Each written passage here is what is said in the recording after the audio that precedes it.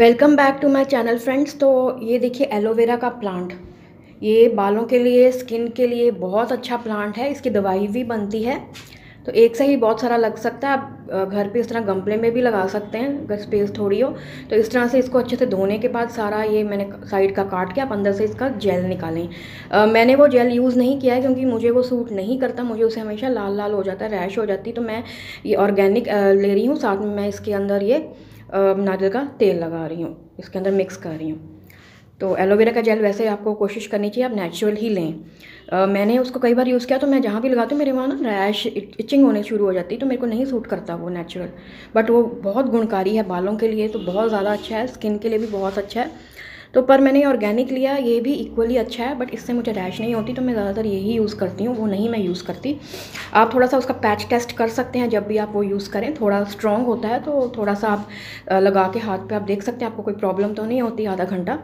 अगर ठीक है तो आप वही यूज़ कर रहे हैं, वरना ऑर्गेनिक जैसे मैं यूज़ कर रही हूँ, आप वो ले सकते हैं प्योर एलोवेरा जेल उसके बाद इसमें मैंने नारियल का तेल मिक्स किया है, इससे आज मैं आपको दिखाती हूँ किस तरह से ऑयलिंग कर रही हूँ मैं।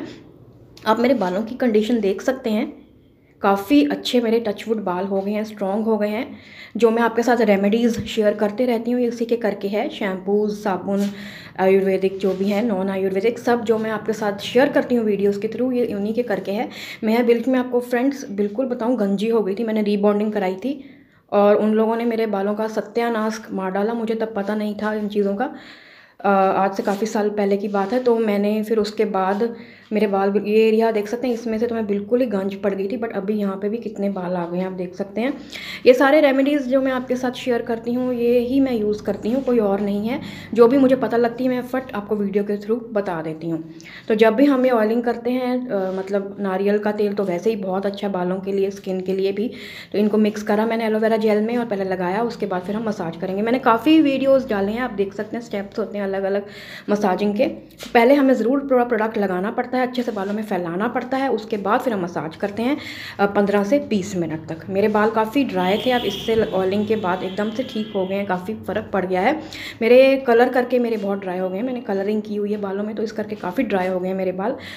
बट फिर भी आप देख सकते हैं, इसकी हेल्थ बहुत अच्छी है बिकॉज़ ये सब रेमेडीज़ मैं रेगुलर बेसिस पे यूज़ करती हूँ। तो इस तरह से आप दोनों चीज़ों को मिक्स करें और एंड्स पे आप ज़रूर लगाएँ ये ऑयल ऑयल इसके अंदर वाइटामिन प्रोटीन्स मिनरल्स सब कुछ है एंटीऑक्सीडेंट्स है, जो कि नए बाल उगाती हैं, बाल झड़ना रोकते हैं।